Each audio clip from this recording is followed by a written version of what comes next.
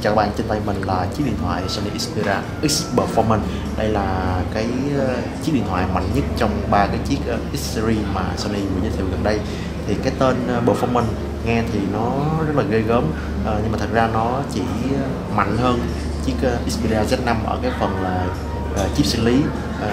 Chiếc điện thoại này nó dùng con Snapdragon 820 trong khi Xperia Z5 sử dụng Snapdragon 810 cho nên là cái chữ performance đó các bạn có thể hiểu nó là một cái uh, phiên bản khác của Z5 với cái chip xử lý mạnh hơn. Cùng có 3GB RAM và bộ nhớ là 32GB Ờ, cái camera vẫn có chung độ phân giải là 23 megapixel.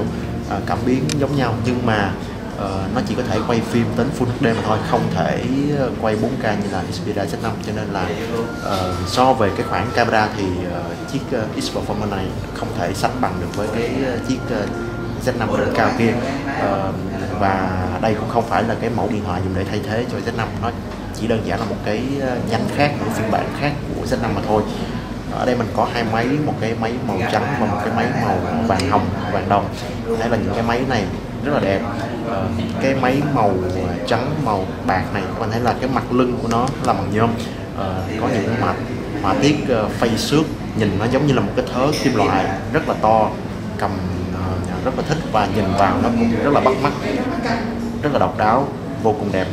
Cái camera này không lồi bởi vì là cái chiều dày của máy rất là dày máy dày ờ, hơn 8 mm ha. có thể thấy được cái bản ờ, cái, cái, cái khung của nó rất là lớn.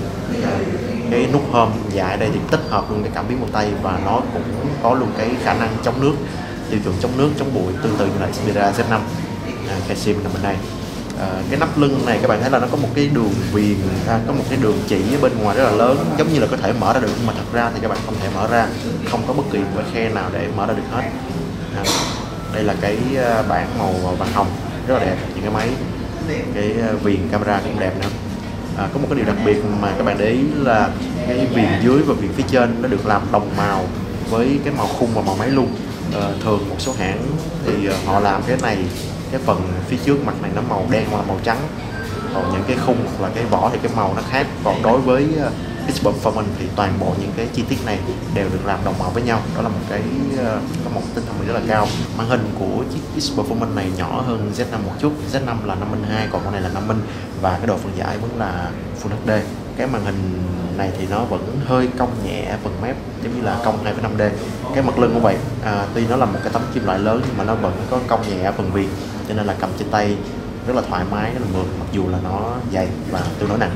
À, ba cái phim cảm ứng thì à, các bạn thấy nó nằm trong màn hình. Thì à, mình không thích cái này lắm mình à, thích nó nằm ở ngoài hơn để mà nó không có bị ba cái viền đen này. À, cái viền đen này bởi vì là cái à, cái viền bên dưới nó cũng khá là lớn đủ để chứa được ba cái phím này. À. rồi rất đẹp.